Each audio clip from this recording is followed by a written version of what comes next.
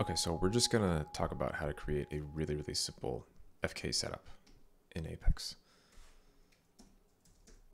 So I'm gonna throw down a cube just to have something to look at as I draw out my skeleton. I'm gonna draw out the skeleton and there. So I'm not gonna change the name of the skeleton. So right now we have point 0.1.2. I'm just gonna leave the names as it is. Uh, so first things first, we need to pack it into a pack folder into the second input and call this base skeleton.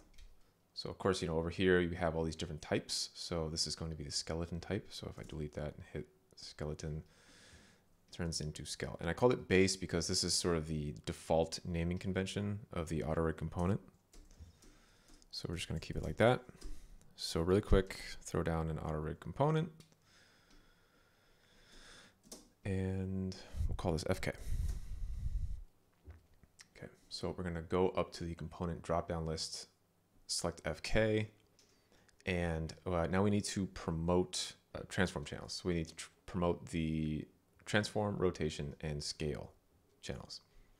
So one quick way to do that, to go through all of our points, is to just put down a star. The star acts as a wildcard that goes through and selects all of the points in the rig. So for instance, um, if I wanted to be more specific, I could look at my string here and notice that they all have similar naming conventions. So it's point, point, point, right? So if I wanted to, I could say point star and there. So if I have my FK selected, press enter, and now I have FK controls. Fantastic. All right.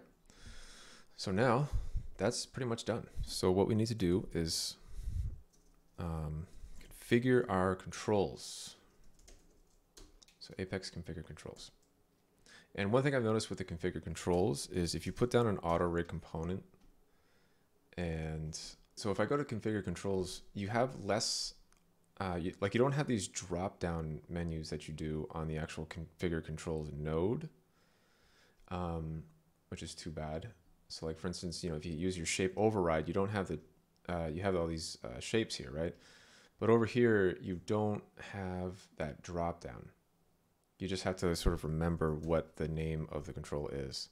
So it's better to use the actual configure controls node than grabbing it out of the Apex uh, auto rig component. Okay, so we're going to configure our controls. We're going to do the same thing. We're going to hit point star. And let's use a box. We're going to make it bigger in our shape offset. Use a color. Boom. And apex add character. We'll throw that down so we can add a character to our apex evaluation scene. And then drop down and animate. And Bob's your uncle. There we go. We have full FK control. So I just wanted to jump in here a little bit more and show a quick example of why rigging in Houdini is so powerful. Um, so let's say we wanted to create some sort of a spider creature, right? So we can go back into our skeleton. We can hit F and now I'm in modify, right? So I want to take this and just sort of tweak it, move it around. Um, I'm gonna, um, let's see, actually, no, we don't want to do that. I'm gonna take this guy. So first let's merge our skeletons so that we can actually see the changes that we're making. So I'm gonna take this, move it over, and then I'm gonna take this and move it over. And now we're going to throw all that into our pack folder. We need to make sure to get that name, to set the name again. Because once you uh, deselect and put it back in, it removes the name. So you just got to get the name back in there. Now the FK isn't going to work anymore because we don't have proper naming conventions. We're going to have naming conflicts because there's 0, 0, 0, 0, 0, 1, 1, 1. So what you can do is you can throw down an attribute wrangle And within the wrangle, you just set the name. So I'm going to say jnt underscore plus itoa. So the itoa function, what this does, it it takes a integer and it converts it into a string. So in this case, the integer that we want is the number of the point or the point num. So now all of our joints have unique names. So we won't run into that conflict anymore.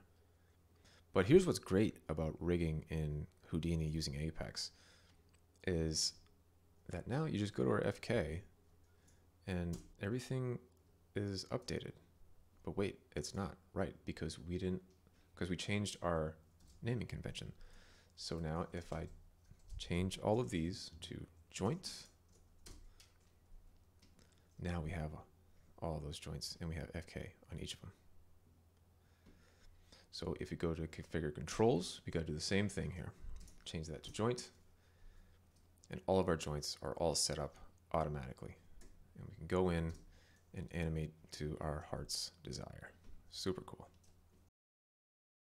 In the next video, we're going to use some of the basic concepts that we learned to create a simple ARM IK rig.